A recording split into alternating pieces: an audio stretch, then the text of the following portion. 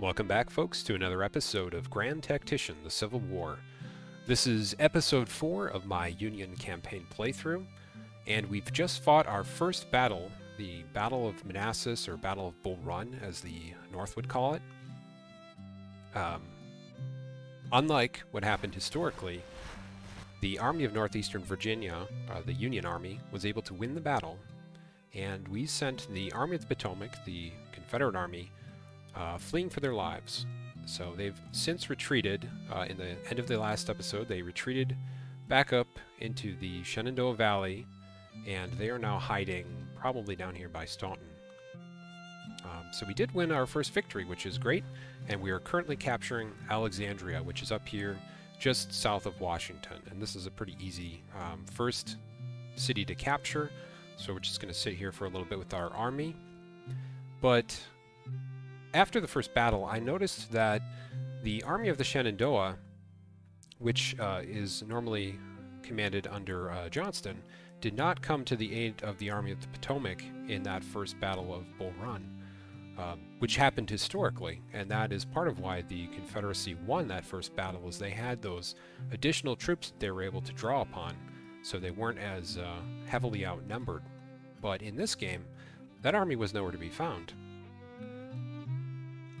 After the battle, I did notice that that army um, under Johnston is actually up here in northern Virginia, uh, up in the mountains, and they're actually consolidating with his Army of the Northwest right now. And I can see their consolidated um, troop strength, or their estimated troop strength, is 21,000 for the Army of the Shenandoah and um, maybe about 16,000 for the Army of the Northwest. So they have a pretty sizable force uh, between the two of them here something that I'm very concerned about. So um, why the AI chose to put those forces um, up there in the mountains of Virginia instead of guarding the critical Shenandoah Valley and the uh, the, the river crossing heading to Richmond, uh, I'm not sure. Now we do have fog of war on, uh, so as you can see, we lost track of that army that we just beat uh, somewhere over here. Uh, and there could very well be additional armies in front of us. We don't know that right now. Um, our intelligence effort isn't uh, our intelligence isn't very high in this area, and this is sort of a map filter you can put on. Uh, red is where we have probably more intelligence, and then obviously as we go south, we see there's very little uh, information we have. Um, obviously, because we have some fleets and armies in Northern Virginia, we can kind of spot this area and see if there's any enemy movement, uh, which there isn't that I see. But we don't have much visibility beyond that, so there could be quite a number of forces coming up here.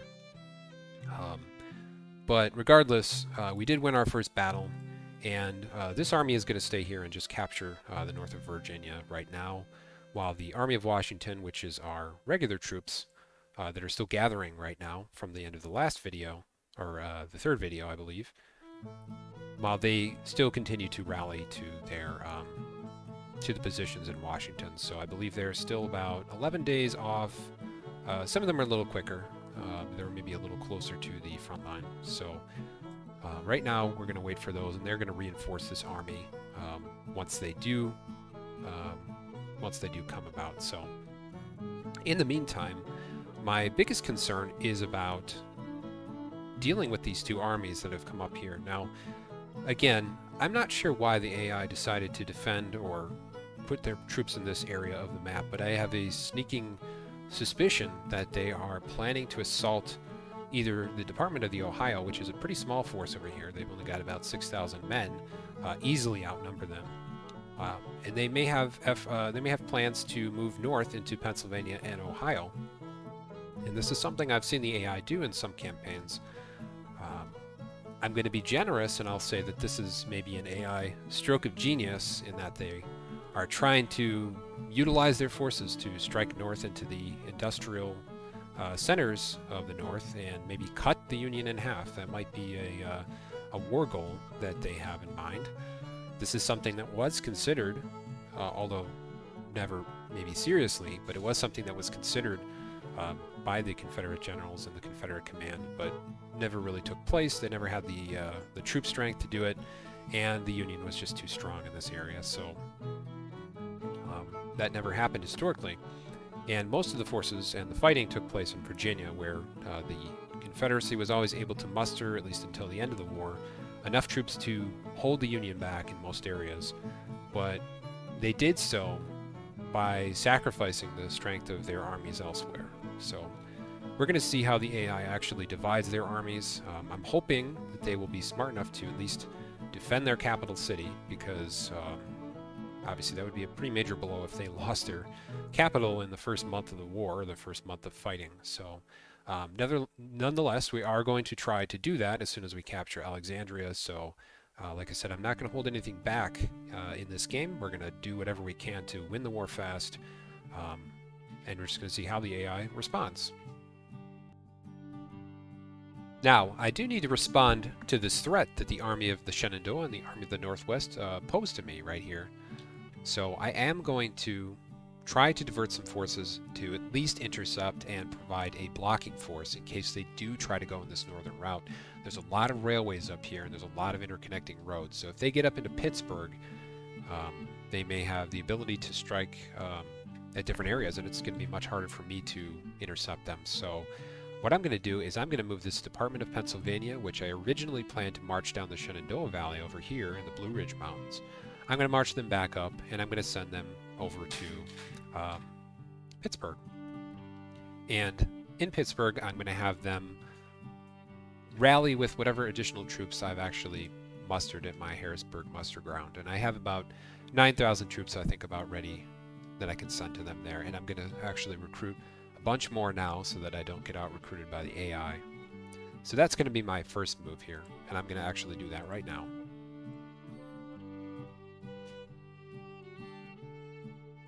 Alright, so we're back here, and I've recruited a few new troops, both to our Harrisburg muster ground, as well as to some of the other uh, muster grounds around the map.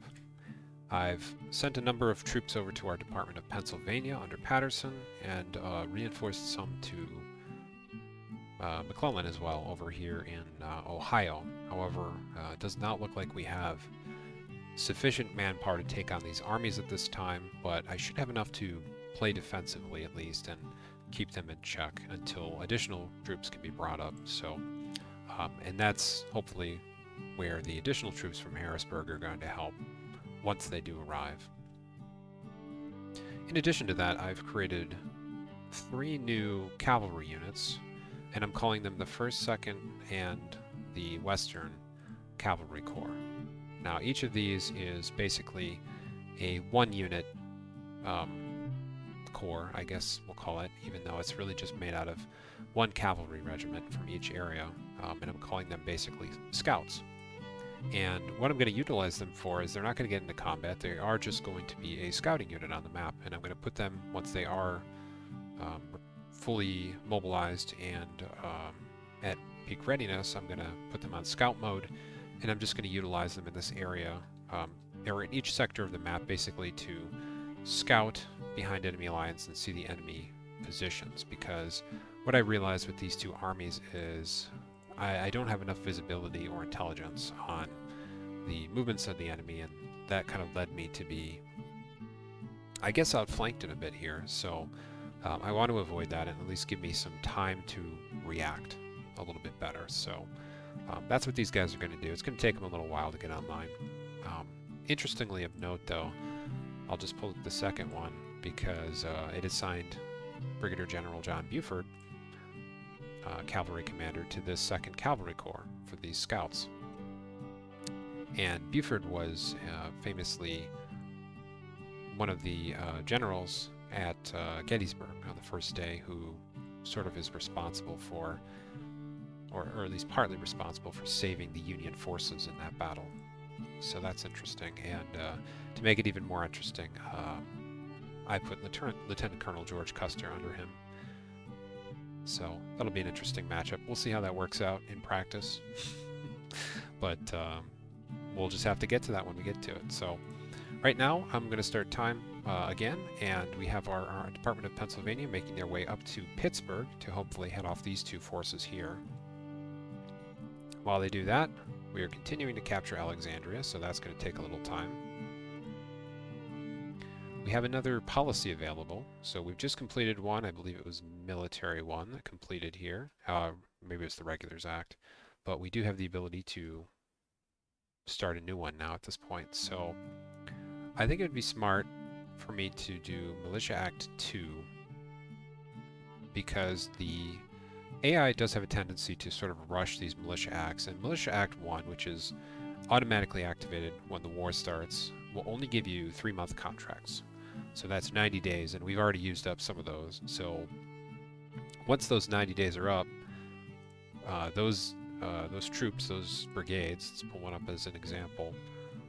This is a bad example. That's our um, that's our uh, main force here. Let's pull one up from this army. So here we go. So yeah, this is one of our brigades we raised. Uh, their contract is three months. So basically what happens at the end of three months is, um, and it only has one month remaining, uh, half of these troops will probably end up going home and half of them will re-enlist typically. So the unit will stay around, but it's going to become significantly undermanned and it will need to be reinforced with additional units either from merging brigades together or uh, potentially from just additional recruits that come in over time. But I want to get that Militia Act 2 because that's going to give me much longer contracts. Uh, I believe, let's see how long that is, 12 month contracts.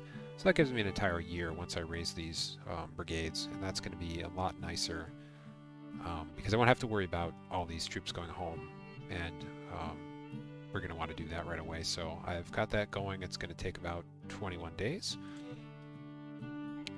Also, I'm going to take a look at the strategy screen because this is something I will be referring back to every once in a while.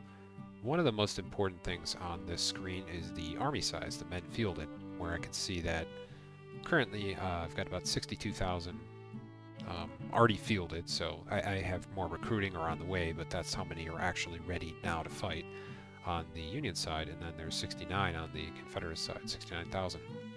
So I'm actually a little bit out recruited at this point. I don't know what else they have queued up. They probably have more troops queued up, and I certainly do. I've just added a bunch more coming in, but that'll take them a few weeks to come online, and then, of course, build up their readiness. So this is something that typically happens over the course of the game, is the AI will try to recruit everything that it can, and it's going to push these Militia Act policies so it can get additional recruits. It's going to raise new armies, and it's just going to build up its force and it's going to do its best to try to, if not match us, sometimes surpass the player in terms of their total manpower. It, there are times when this does work against them, especially when they start using the draft later on. But for now, we're just going to keep an eye on it, and we're going to try to keep pace with the AI and make sure that we don't fall behind. So every once in a while, I will refer back to that. So let's speed up time here. It is currently nighttime on June 1st of 1861. This is our latest intelligence uh, intelligence report, and interesting. So, um, just as I suspected, our intelligence sources are telling us that the CSA is currently um, trying to pursue the policy of Militia Act 2, which is the one we just clicked on. Um, that's good to know because that means that they're doing the same thing we are. They're going to try to be extending their contracts for their troops, and that will also give them additional volunteers. So that's good to know. Confederate relations with Great Britain have gone are at 20%, and they've gone down a bit. Gone down, gone down about 20 10% in the last month. And their relations with France are, France are at 20%. That's interesting. We'll see how that goes. Uh, it's very rare for the Europeans to intervene in this game, but I've never seen it happen because there's a lot of policies both on the Confederate side and on the Union side that sort of prevent this from happening. And this is uh, it's something we're going to monitor. I'm not very concerned about it, but so this uh, newspaper popped up and says the Confederacy is facing an unprecedented recruitment crisis. They're unable to fill their ranks. Hmm.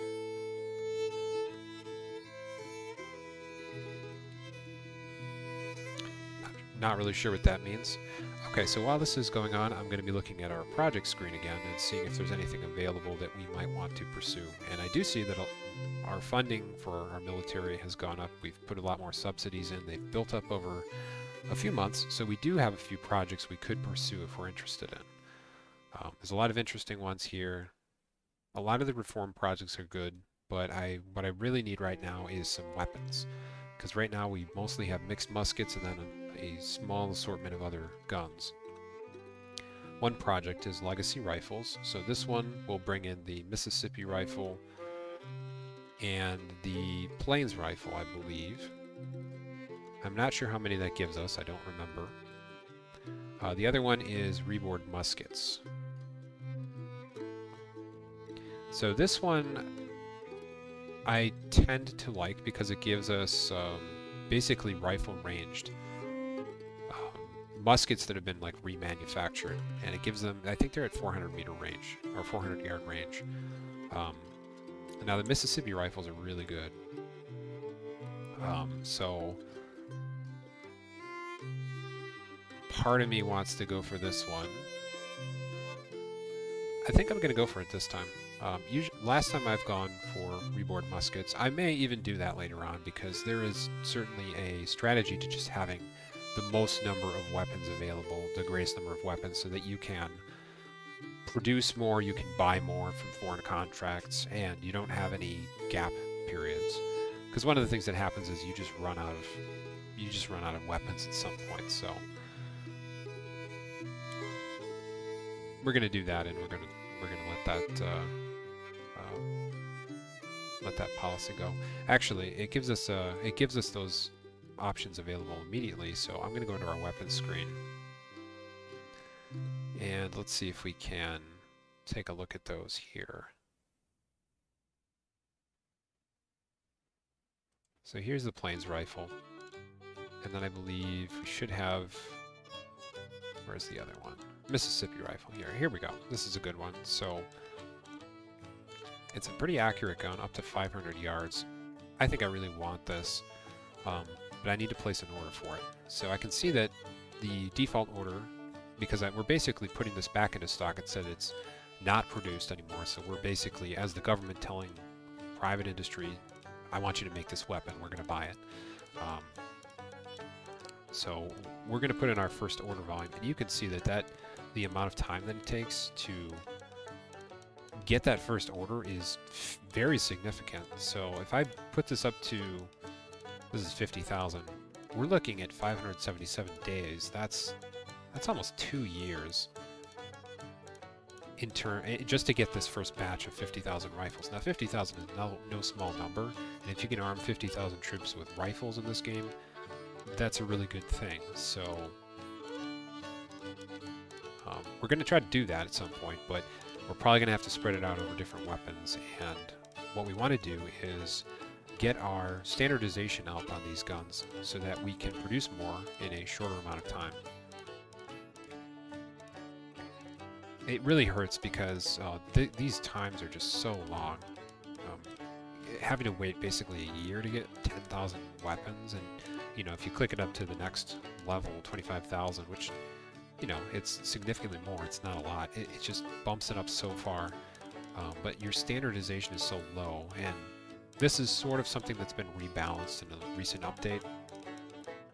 And I don't, I don't know if I fully agree with all the changes they made, uh, because yeah, it just makes it difficult. So I, what I'm going to do is I'm going to kind of go in the middle here, and I'm just going to order um, 10,000 so I can basically arm three brigades with rifles at that point, and these are good rifles, so um, I do want to do that, but it's, it's also going to take me you know, two-thirds of a year to get there, so I'm not even going to see these until the middle of uh, 1862. But um, once I have that first order in, our standardization will go up significantly, so the next order I place should be shorter. At least that's the theory, so this is why foreign imports are just so useful because you can sort of order them way faster. You know, you're basically just getting a transit time rather than trying to restart production in a factory somewhere. Um, so that's something that we're going to do. And um, the other one we had access to is the Plains rifle here. And again, we're looking out quite a quite a bit into the future. But I'm also going to order 10,000 of these. Actually, you know what? I'm going to order 5,000 of these. We'll get that order going. Um, speaking of which, I'm going to put in some other orders because we probably want... We're going to run out of weapons here, and I don't want to do that. So um, we only have... Let's see. I'm going to put... Uh, I'm just going to do orders available uh, technology available. This one will tell me. This will tell me the ones I can order, and currently it's not very many. So um, basically, I'm limited to mixed muskets plus these two that I unlocked by spending money, um, basically as a policy, government policy, and then these two basic howitzers that I can order. Um, and that's it. That's actually that's all I can do right now. Um, I do have a lot of, of weapons available in my stocks currently that I can draw on. I've got 21 uh, power, uh, howitzers here, 28, uh, 24 pounders, and so on and so forth. But um, I need to start placing new orders since I don't have auto manage on. The, the AI will do this for you, but I don't really trust them. So I'm going to start placing those orders um, so that in the future I will have more guns available when I need them. So. And that will also increase standardization for these as well. These basically work the same way as small arms. We have additional civil projects that are available as well. Now these aren't necessarily big ones. Um, administration reform is a good one to start with, but you don't want to put too much into it. This basically speeds up the time it takes to do these policies, which doesn't matter as much now, but will matter more later. Occupation administration is good as well because it basically gives us a little more um, local population support in the areas we capture. But I'll probably save that one for now. I'm going to do this administration reform.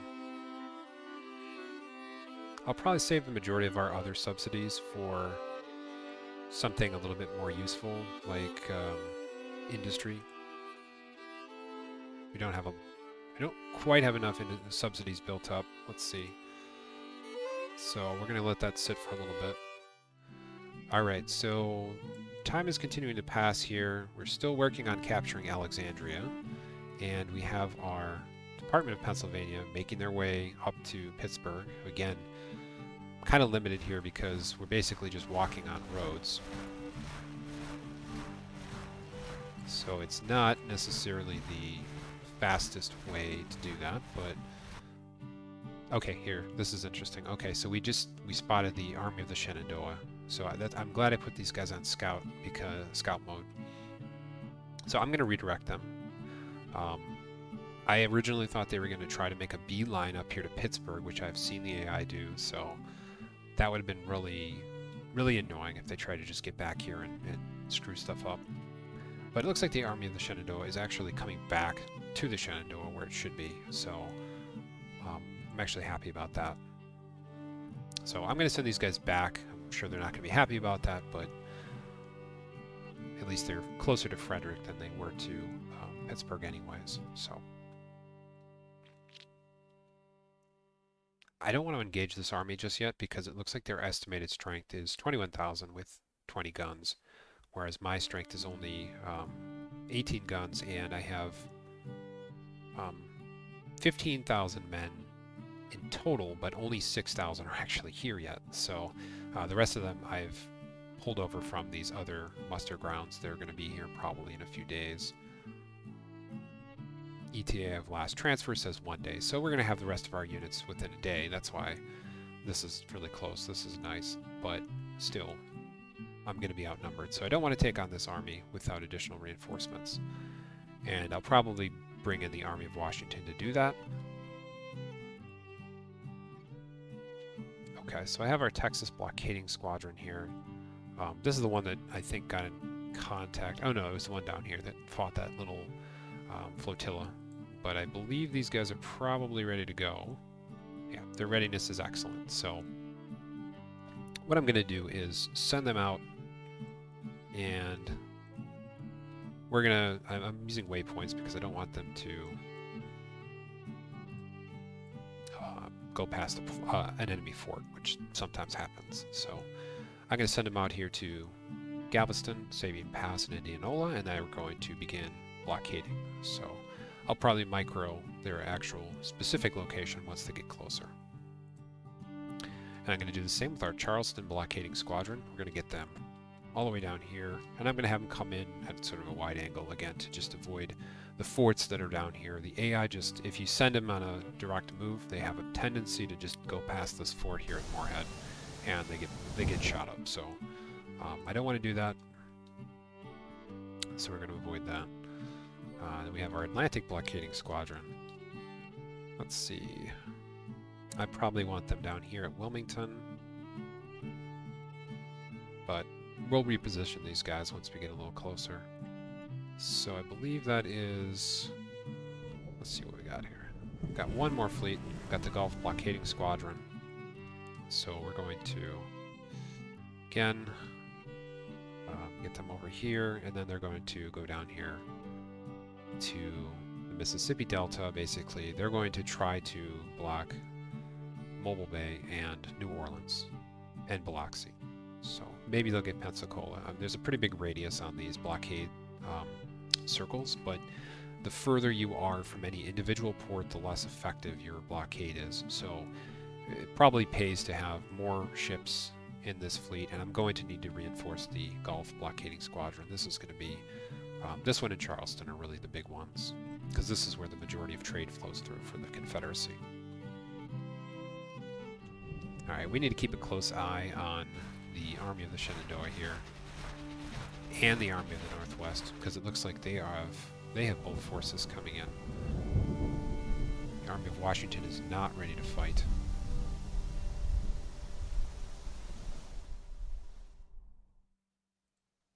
I'm going to turn these guys off scout mode just so I don't lose any um, cavalry troops in our first battle. But I got to be really careful here because... Yeah, I just got to be careful because they're, they're already attacking. Look at that. They're, they're to come right across the river here. The AI is very aggressive in the early campaign really throughout the campaign. I did put them on increased aggressiveness, so part of this may be due to that, but um, okay, so we have one, this one unit, this group of units, has actually gotten on ferries over here by this, um, by Harper's Ferry, and they're taking it down river. So I want to get these guys as quickly as possible on the um, on the railroad so I can get them down here to reinforce the army.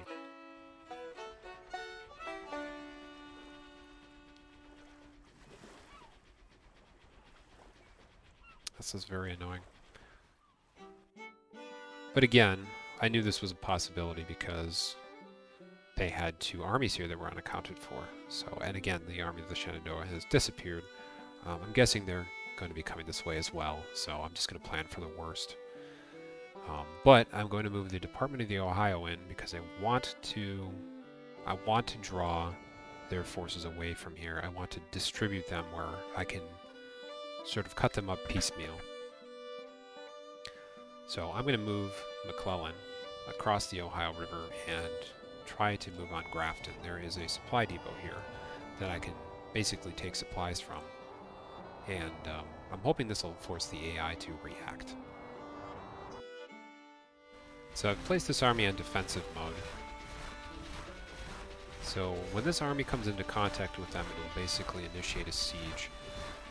And the reason I'm doing that is because I want to buy time. Sieges take time.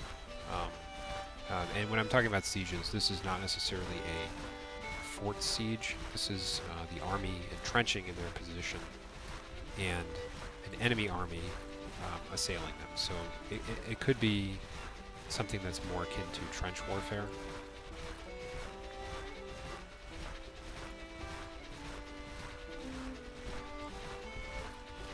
but I'm going to have them stop here.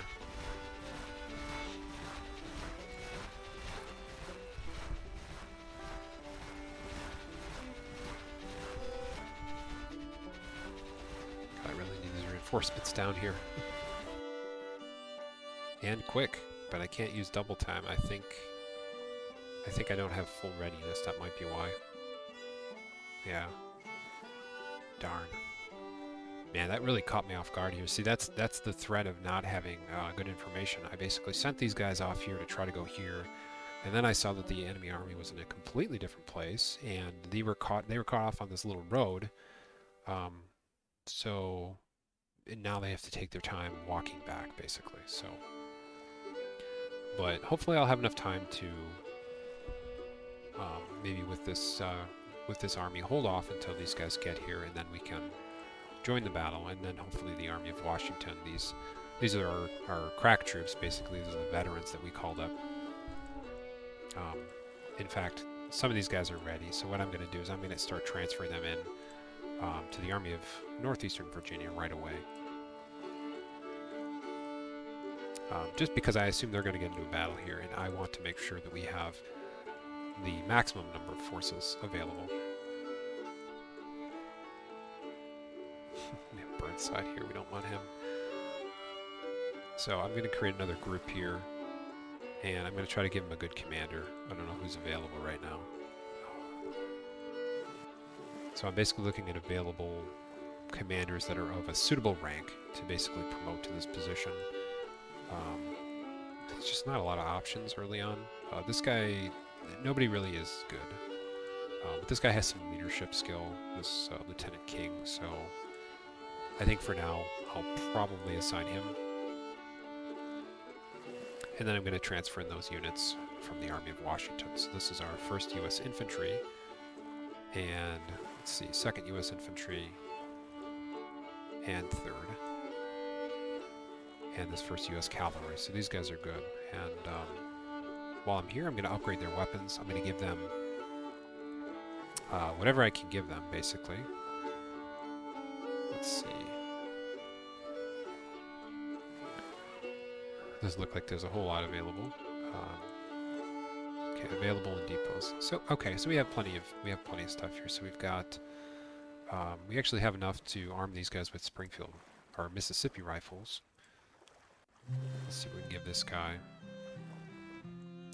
don't have enough now for those. We have Springfield muskets, so that's good. And we also have Springfield rifle muskets, which are way better. So we're going to give the give them Springfield Springfield rifle muskets, and it's in our best interest to give our best troops the best weapons because they're obviously going to make the most, you know, effective use of them. Let's see what else can I upgrade. Um, I could manually upgrade these guys, to, or um, automatically upgrade if I cl click the um, head of the army and click auto upgrade, but in this case I kind of want to be um, specific about who's getting what. Okay, so that should be good for now. I also do see these guys have some perks available, that's nice. Um, so, um, when you get a, when you get some uh, experience, when a unit, unit gets experience, then they can accumulate enough to get a perk and basically a perk is essentially specialized training. Um, and it's assumed that the training took place, you know, off off at a training ground somewhere, or um, when they were in camp. I'm going to try not to overthink this too much. Um, Deadly Volley is a good one. Basically, it gives a uh, unit is trained vigor vigorously in maintaining fire discipline, releasing their volley only when the effect is assured. Resistance to high momentary casualties is plus 50%, volley strength plus 5, and it levels up with short-range engagements. So you can basically choose one of these training specializations, and then as they do that thing, like if you use them for that, which is what you're supposed to do, then they'll level up and they'll get more effective, and it'll buff their um, buff their abilities. Iron Discipline's another good one basically makes them harder to break, makes them um, last longer in combat when they take higher casualties. We'll give these guys sharpshooters, so they have uh, some picked, um, hand-picked marksmen making up their, or in their brigade, so that'll just increase their overall effectiveness. And I think I can choose one for this uh, cavalry as well. Cavalry has different ones.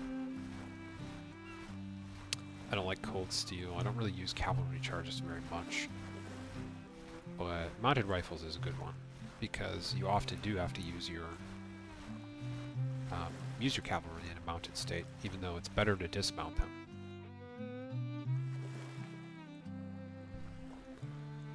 Okay, so we're still capturing. We're at 75% in Alexandria, but these two armies are moving in, and this is going to be another big bloody fight here, I can tell. And unfortunately, I don't think we're going to be able to maneuver a whole lot of forces in time to meet them. I've just got too many other forces out here. Um, again, I sort of anticipated a fight here with the Missouri State Guard, and I am going to engage in that battle very soon. I've just I'm waiting for a few more troops, and then I'm going to go out and meet them and beat them, but or hopefully beat them. But I really need to contend with this right now. So, yeah, we've only got 500 troops over here at Harrisburg, so I'm probably going to need all of them. God, I got to get these guys up here. So we're going to speed time up. Let's see what happens.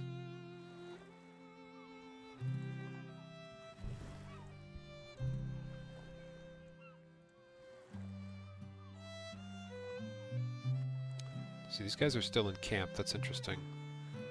They're not actually moving to engage. Oh, shoot. So we had a um, results of the battle. Uh, okay, so results of the Battle of Albel, Al, Albemarle Sound? I think that's it. Okay, so we got a report from one of our naval commanders in one of those fleets. Um, and it's hard to read this, but this is the Texas Blockading Squadron. It says, um, the Battle of Albemarle Sound has ended with the Savannah Squadron retreating. Engagement was a strategic victory. We've captured three of their ships and sunk two of theirs. I'm sorry, no, we've captured two of their ships, but we had lost two ships. Two, two ships sunk, including this USS Resolute. So, I'm going to go take a look at that. Oh, that's interesting. So these guys probably all headed out at the same time, but the Confederacy sent this uh, navy up here, which is interesting. They must have been in one of these ports. Um, obviously, we hit them pretty badly, but let's see what's going on in these. Oh, wow. Yeah, so we captured the CSS Sampson, the CSS General Clinch, and the CSS Alert. They are in very bad condition, though. Um, and this ship's tender, I don't even think it's worth... Um, it's not even worth keeping it, so I'm going to abandon this and we get a little supplies back and we don't have to worry about the upkeep. Uh, the other two, I'll put in our harbor. I'll send them back to to the harbor to refit. But on the other hand, we've uh, we've lost a few uh, we've lost a few ships here. So I'm going to have to send a few ships in to take their place. So luckily, those ships that we put into harbor at the beginning that were building up, some of those are now becoming available a few months later, so that's good. So I'm putting a few more ships into this fleet to sort of shore them up. The rest of them are in various states of building, so we'll leave them as it is. Just gonna check these other two just to be safe. Okay, these guys look like they're okay. As does the home squadron. It doesn't look like they're in any uh, serious danger here, so and they've got a perk too, actually, so that's good. So I'm going to give them... Uh, I probably don't want to give them Blockading Squadron, actually. Probably mortar boats. Mortar boats are good. Um, this is basically um, a towed boat, boat, that they can bring behind and they can use to bombard forts. Uh, it really increases their effectiveness. So, see if we can get those guys going back. I think they sort of got intercepted, so I'm going to have to, fortunately, re give them new orders, which is kind of annoying. Alright, so the Union armies are on the move. It's basically given us the notification that we've won, a, won, a, won an action. Although we won the first battle, I think this only comes up once you capture territory in the, in the uh, Confederacy. So we've captured Alexandria, which is usually the easiest one to do other than other than Winchester here. So so that's good. Let me just reassign the rest of these, make sure they're going where they need to go. Um, there's the Charleston blockading squadron. Let's get these guys down here. Okay. Alright. And over in West Virginia, I have Clellan on Grafton. So he's going to be capturing that. hopefully. The good news is, because these two armies of the Confederacy are so close, I kind of know where they are, so I'm not as concerned now about, you know, where they're going to go. I'll see if they try to redirect. And they haven't tried to attack yet, which is uh, interesting, so they must know that maybe they're not at uh, peak readiness to attack.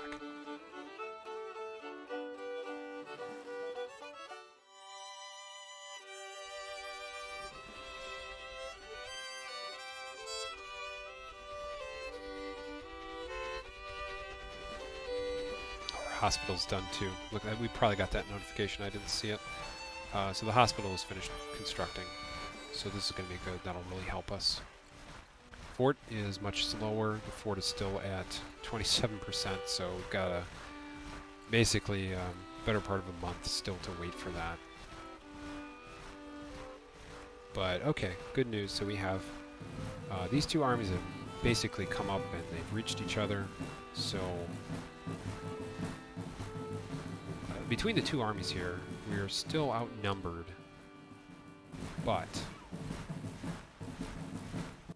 but we need to go on the offensive here, and um, I would like to find a way to separate these two forces so that I can draw one in but not the other.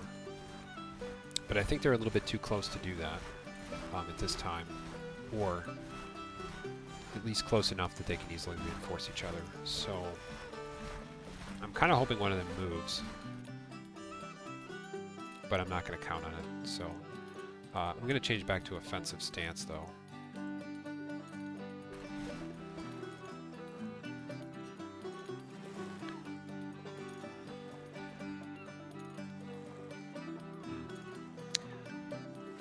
If I had a choice, I would attack the army of the Northeast on its own. Because they're probably weaker.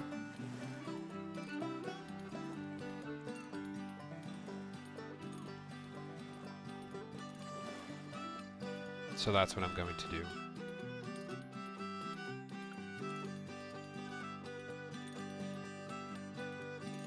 Over here in St. Louis, let's take a look. Looks like we have the majority of our troops here, so um, I'm going to move them out against the Missouri State Guard. I'm probably not going to play this battle unless these guys have gotten significantly more reinforcements. I'm just going to let them uh, auto-resolve and we'll see what happens. But um, we have more troops than they have. It's not a guarantee, but we do have more troops than they do.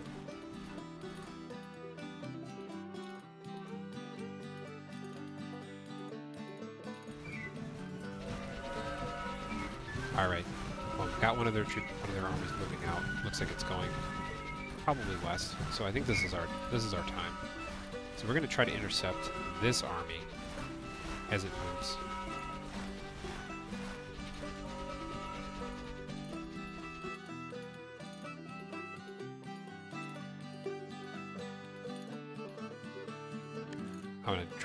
The Savannah Squadron over here. I don't really like that they're over there.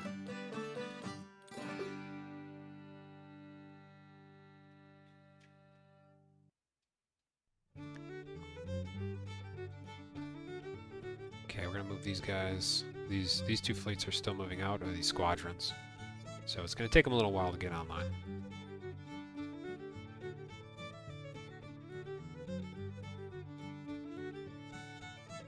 see what happens here. They may simply disintegrate or run away. There we go. Okay, so we have our fleets coming into contact. I think this is going to be an easy win. Okay, we can see they're firing at each other, but these guys are already heavily damaged, and they only have two steamers and a little uh, schooner with basically an armed schooner. So these guys should have no trouble mopping them up. In fact, they may not take any damage at all because the armor, the wooden armor on here, is just probably strong enough that these ships might not be a, may not be able to easily penetrate them. So you can see the CSS Lewis fired on USS Constitution.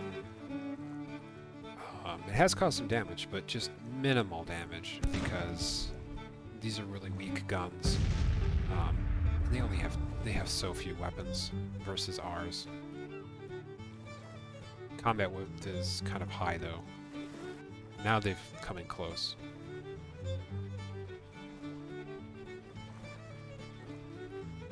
Let's speed this up.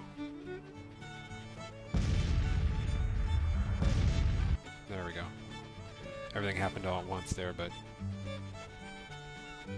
looks like we got him.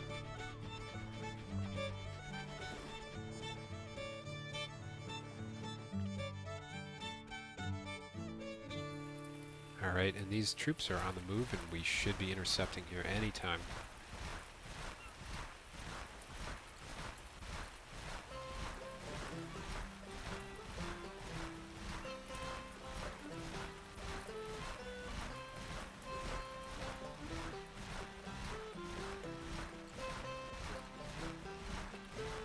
Surprised we haven't hit them at this point. They're certainly within the combat radius but it may just be because it's too late in the day. So we're going to speed this up. There we go. Okay, so here's our two armies. You can see that the Department of Pennsylvania is the one that actually came in contact with this army, and then the Army of the Northeast, uh, Army of Northeast Virginia is supporting them, and they're only zero hours away. It means they're they're right there, which we can see they are could call on these other armies, but again, we don't want them in this fight. This is an engineer corps. This is the this Army of Washington is basically just there as a to pull in additional troops, and we're going to assign them out. So we should have uh, 27,000 in total against their 13,000, or roughly 13,000. And these other this other army didn't even make it to the battlefield. All right, so we're here at the Battle of Leesburg and we've just started the battle. So we have two different um, generals here in command. We have uh, Major General Scott in command of the Union Army. So this is the army that we fought with in the first battle, uh, as well as the Department of the Pennsylvania up here under Major General Robert Patterson. So similar to the first battle we fought, I have about a two to one uh, advantage over the uh, enemy here. We have about 27,000 men in total, and the Confederacy has 15,000 approximately. We have more cavalry and more artillery as well. So we have a pretty distinct advantage. Now, I want to do something different in this battle than I did in the first one. At the very start of this entire campaign series, I decided that I was going to primarily auto-resolve battles. And so far I haven't done that yet. But since I'm going to play this battle I want to do things a little differently. I'm going to leave all of the armies completely under the AI command, or the AI commander's initiative. So this game does allow you to basically give individual commanders either at the army level or the division level, and honestly at the brigade level as well, initiative. So if you turn that on, for instance, in this case, um, if I was to give this commander initiative, allow initiative, it is on by default, by the way. Um, I can give them a stance and basically tell them to take a general action. And so the commander is going to interpret that action and try to carry it out using all of the different divisions and units under their command. So I think to make this a little more interesting, because we obviously have a clear advantage. We could destroy the enemy. We could destroy the AI here. Um, they don't. The AI is usually pretty easy for the player to beat, anyways. And here we have again a two to one advantage. And I want to simulate a little bit of what historically happened for the Union, where they faced challenges in coordination of multiple army units early in the war, as well as just commanders that sometimes were ineffective or interpreted orders incorrectly or didn't coordinate with other armies. So I'm going to give very general commands only at the army level. I'm not going to give any divisional level commands. So only to the two army units. And I'm going to have them try to assault the enemy here and hopefully win the battle. Um, only using AI initiative. Now, I don't know how well this is going to work. I've never tested this before, so this might this might lead to very little action at all. Um, but I think it'll be interesting, and we're just going to see how it goes. It looks like I'm going to have to give manual orders here. So I'm just going to give very general orders to each army unit, and I'm going to see if they take the initiative from there. And I'm going to speed up time, and we'll see how, uh, how these things progress.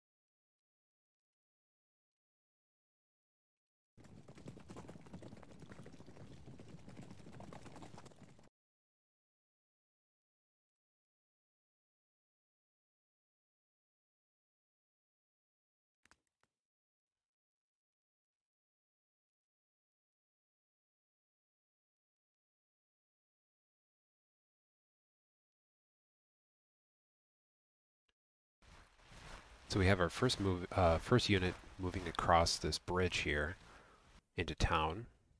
They seem to have gotten out ahead of the rest of the group. This is interesting. This is the 2nd Brigade under Colonel George Meade.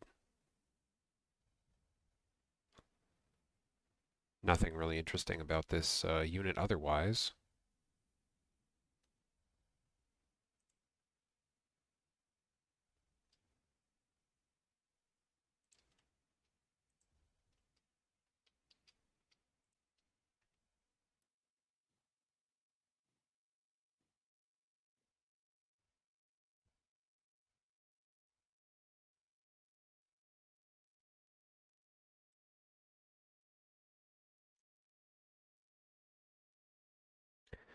At this time, both forces from the two army groups are moving in on New Market, but I have not yet seen the enemy. That tells me that they're probably holed up somewhere, most likely up in this area, near um, Sudley Springs and the crossing, near the Sudley Church and Mill. But we'll have to see.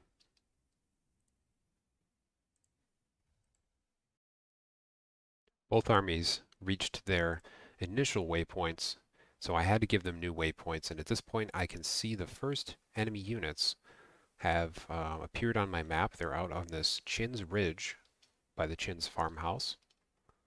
Now I can't see too much, but I do see two brigades. Two detachments, actually. So those are skirmishers. It seems like they've set up in this area. So what I'm going to do is I'm going to try to coordinate this assault.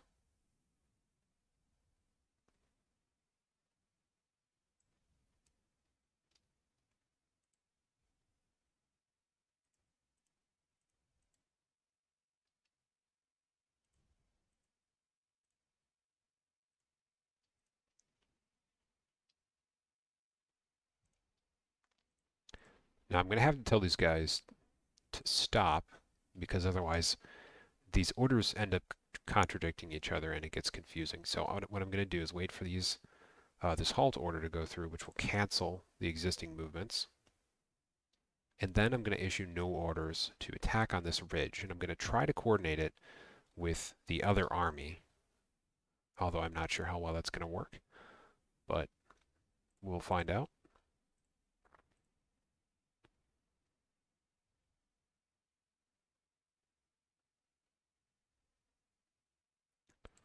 It looks like the enemy is falling back.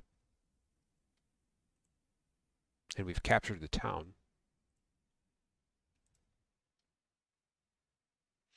Alright, and new orders have been given. So the goal is we're going to try to coordinate these two flanks of the army to come up on this ridge simultaneously. So I want to assemble both of these two units here, and then I'm going to have them deploy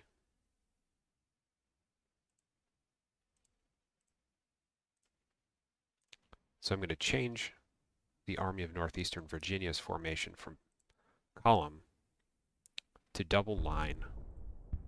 Now I don't like single line because it stretches it out way too much and then you don't have any um, reinforcements to fill gaps. So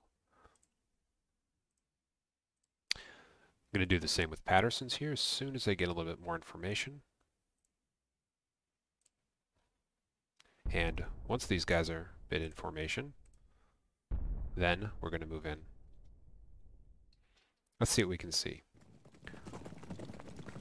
So this cavalry regiment under Palmer has moved in and they've given us a little bit more information about the enemy's position. It looks like they've they've really gathered here sort of between the Warrenton Road and the Chinn's farmhouse. A lot of their units are still in line formation. They do have a few artillery units set up. So we're going to see exactly what happens here.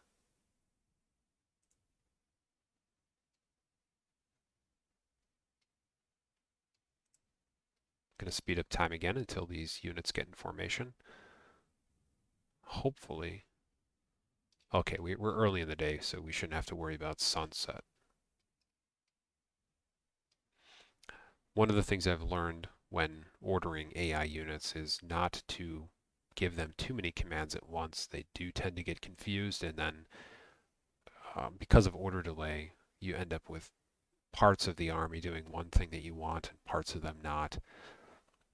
Okay, so this is interesting. We're seeing the AI armies moving out very aggressively, perhaps suicidally.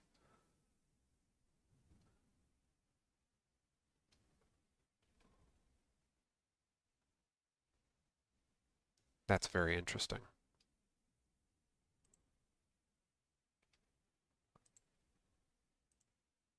I don't think we want to wait any longer. I think we're going to give them a, an attack order.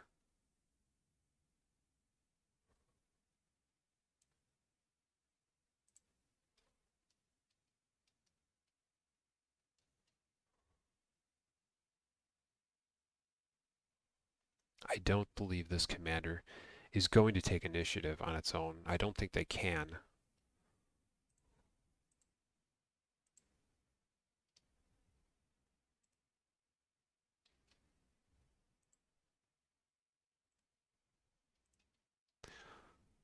Looks like the enemy is just retreating. They've probably noticed that they're very much outmatched.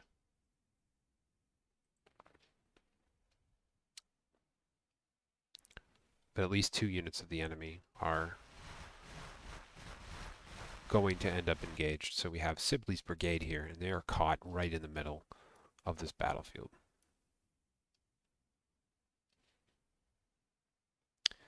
And we'll see about these units here. This might be, who is this? Uh, Manigault's division. Interesting. Well, I don't know. Maybe this is a delaying force.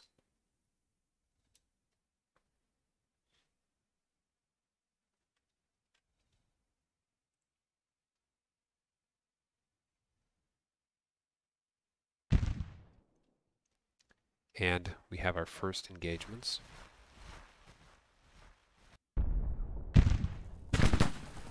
All right. 3rd Cavalry under Lieutenant Colonel Howard Burnham is charging in. He's giving the cold steel to this unit here. He is getting cut down. But might take out this uh, battery, Pickett's battery guessing that's uh, Pickett, George Pickett, got assigned to an artillery regiment.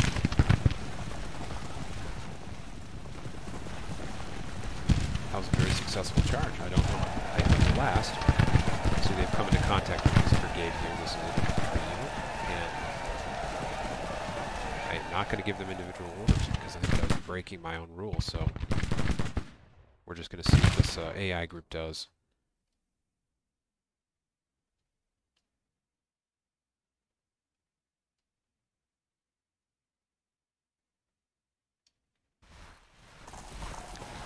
And as expected, they have broken.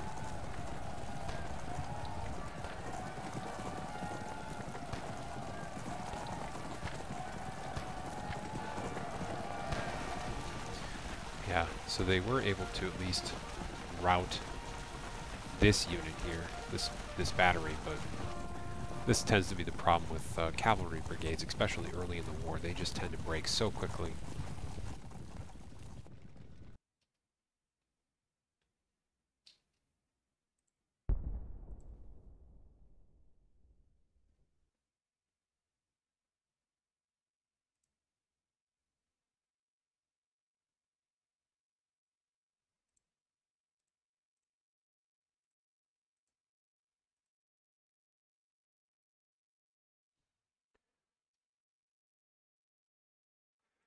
Patterson's units are moving up, but not very fast. Looks like they've just stopped entirely.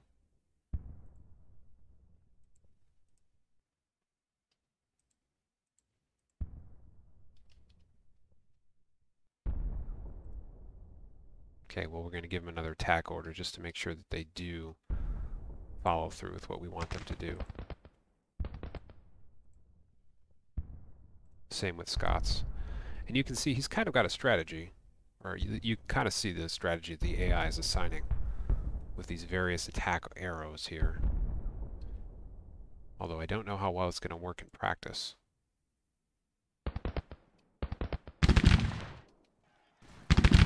Yet another cavalry regiment just ran into an infantry regiment here.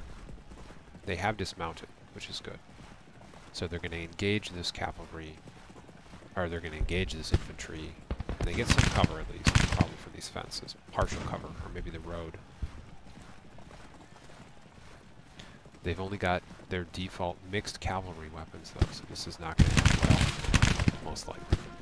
looks like they're already forming back up. Trying to get out of there, which is the right call.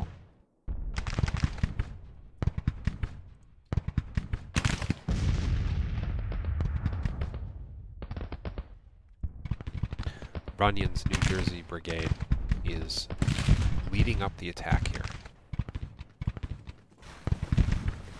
So again, the cavalry somehow has ended up in the front of the army.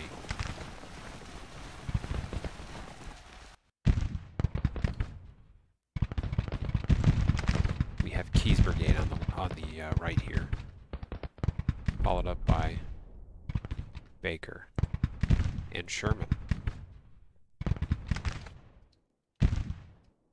on our left wing, we have three brigades, infantry brigades. We have Montgomery, uh, Sykes, and Russell. And they've been given a general attack order, so I'm hoping that they do move in with some coordination. It looks like they're moving. They're not going in completely piecemeal, but we'll just have to see. Patterson, of course, is taking his sweet time he's not using the roads. It's always unclear if the AI's decisions to path or move in a certain way are because of the commander or because of generally problems with the AI. So we don't know for sure. Alright, our first infantry units are going to come in contact here. First Brigade under Erasmus Keyes is already engaged the uh, Cooper's Brigade from the Army of the Northwest. Zollicoffer's Brigade has come into support. There's a few aban abandoned artillery units here from that initial skirmish with cavalry. And now our 4th Brigade, under Colonel Israel Richardson, has come to reinforce. Forming a bit of an angle here. This unit uh, falling back, I can see. They know they're flanking, taking casualties from behind. Just because of the strange positioning they ended up in here. So, that looks like it's going to turn into a uh, retreat for these units, or at least a temporary retreat. Meanwhile, our brigades are assaulting on the right. Looks like that's going well. there's some smaller units here, an artillery battery, as well as the Virginia Brigade, a very small brigade coming up.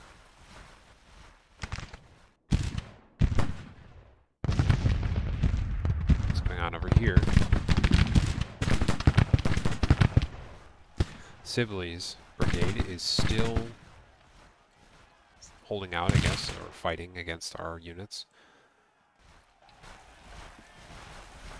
Williams Brigade, this is under Colonel Williams, is have taken a few casualties. Looks like uh, they are falling back because the enemy is behind cover.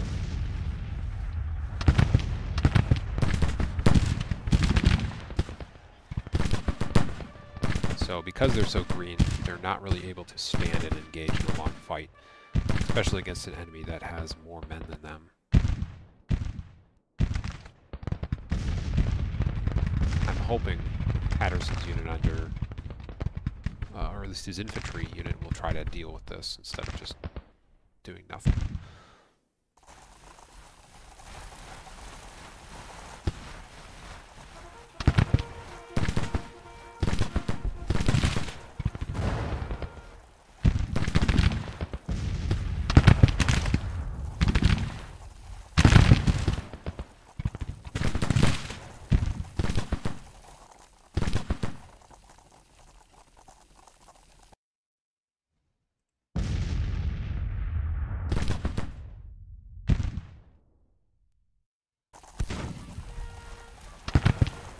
Militia brigade is apparently breaking.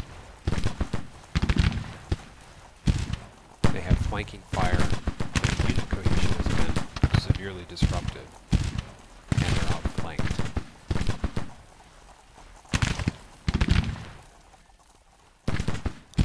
But we seem to be doing pretty well elsewhere. The AI didn't put up a real great defensive line. They sent one of these units out here, nowhere. I don't know why. That could have been a feud. It could have been a deliberate attempt to disrupt this force.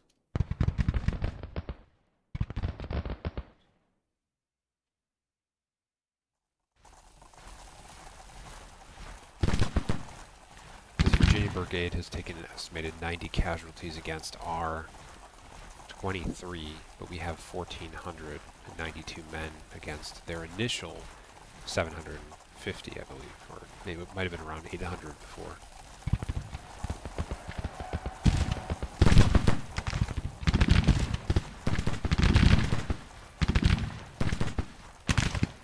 So now we're trying to engage the Zollicoffer's brigade. These are the main, uh, the main Confederate units here, Pendleton and Zollicoffer. So this is going to be interesting. Now both of these units, are half strength. So in order for this assault to be successful, additional units really need to be brought up quickly. See at least one Keyes unit has been ordered by the AI to move forward and hopefully assault or, or support this assault. So that's good. Same with Negley's brigade.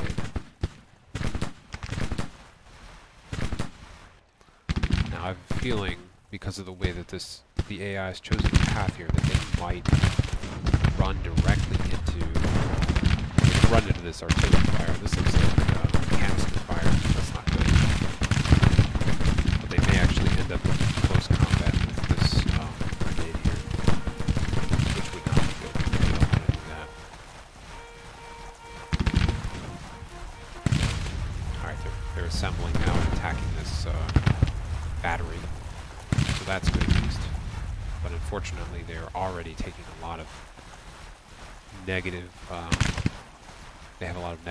Negative here. Just because of the way they got positioned. So they're already suffering a lot of morale damage. They're nervous and unstable, means they're going to fall back very soon. So hopefully this unit behind them, first brigade, thankfully they've moved up and they're supporting. So this has forced, forced Zollicoffer to pull back, although they're not really falling back in the right direction. they're trying to withdraw under fire.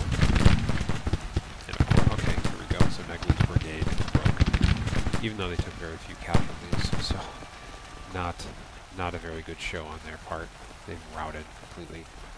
Um, but it looks like we are getting the best of the Zollicoffers, and there we go. So the enemy is retreating. So we're going to try to push them in the rest of the, with the rest of the time we have, or at least let the AI do that. I'm not going to try to take manual control this time. Looks like Wheeler's brigade over here, this Virginia brigade, did break as well. They probably, that's probably why the um, battle was won.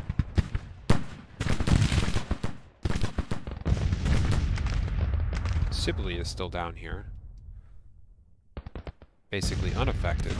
And it looks like they're still trying to engage Williams. At least at a great distance. I think this unit's going to take a lot of casualties. Looks like they are.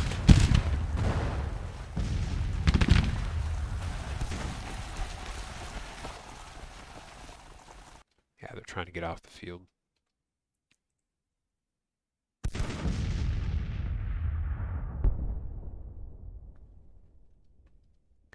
Looks like their main units are going to get away. But with casualties, so that is to be expected. The outcome of this battle is interesting. So I learned a few things about the game, so I cannot give a general, I cannot leave the AI completely in command to take, uh, to engage the enemy AI. I was hoping that would happen. I wanted to give a general order to this uh, army commander without having to direct them on the map and then have them um, you know using the AI's logic try to uh, engage in this battle um, however they saw fit. I think that would have been very interesting to see but I did have to give some general orders. Uh, I had to give a general order to move to the objective and then to basically assault the enemy for both of these two army groups but the good news is that at that point, it looks like they were, the AI was able to kind of take over and use their general AI stance to attack the enemy. And it looks like they were able to do that successfully, at least in this case where we had overwhelming numerical superiority. So I don't know if that would always be the case, but this is something I'm going to have to keep in mind for future battles.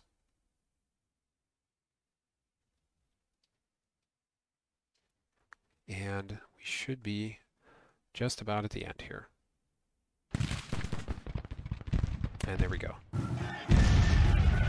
Excellent. So we are victorious, and we have taken a total of 1,000 casualties out of our roughly 30,000 man force, where the enemy has taken 1,400, uh, a much greater percentage out of their 15,000 man force. They've lost 25 out of 25 of their guns, so that's quite uh, damaging when they lose that many artillery units. So I'm going to go back to the campaign map. See there shortly.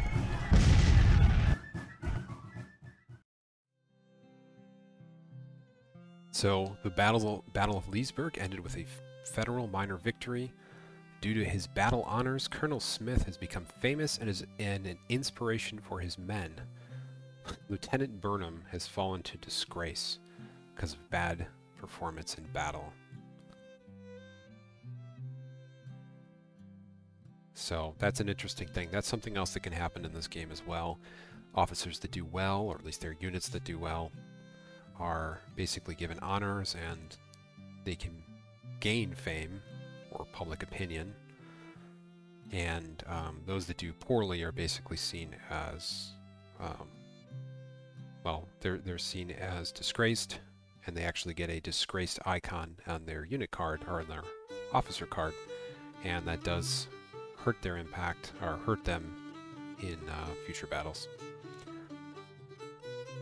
So it looks like we were able to capture 9 guns and 551 rifles. 165 enemy soldiers were captured and taken to POW camps. Victory at Leesburg.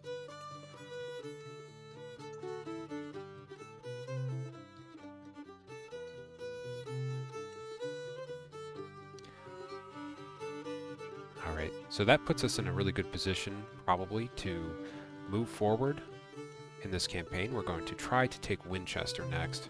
This is a heavily contested town. It goes back and forth many times over the course of the war. You can see that this Army of the Northwest is routed, retreating. They're suffering casualties. You can see in the text, rearguard actions. They're fighting with our units. So our next movements are going to be probably towards Winchester or to try to take on the army of the Shenandoah, which is now basically defenseless, and we'll see what, what becomes of that. Major Union victory. Meanwhile, let's see what's going on over here. I had ordered our Department of the West out from St. Louis to take on the Missouri State Guard, and they are retreating. We didn't see a battle take place, which means this army or this commander chose automatically to retreat rather than face mu a much larger and probably more powerful force, which is better armed, which is the correct choice, of course. So I will probably end up pursuing this army. I still have pretty high readiness. I can see that they're moving down this road. They're probably going to head down, um, probably head up this road from Jefferson City and then down back to whatever is still in Confederate hands. So it looks like that's fallen all the way back to Lebanon. But I am going to pursue them.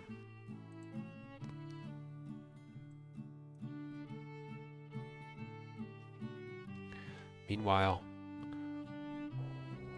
McClellan is still over here taking Grafton. So that's great. We're just going to let him continue doing his thing do see that the Confederacy has constructed mills up here in Wheeling, which is a very bad place to put a mill because as soon as I capture Grafton, this whole area, well, this area will very quickly fall under my control. I do have to actually capture Wheeling. It's a major city, so I'll have to move an army up there in order to capture it, but um, probably not a good place for them to put that.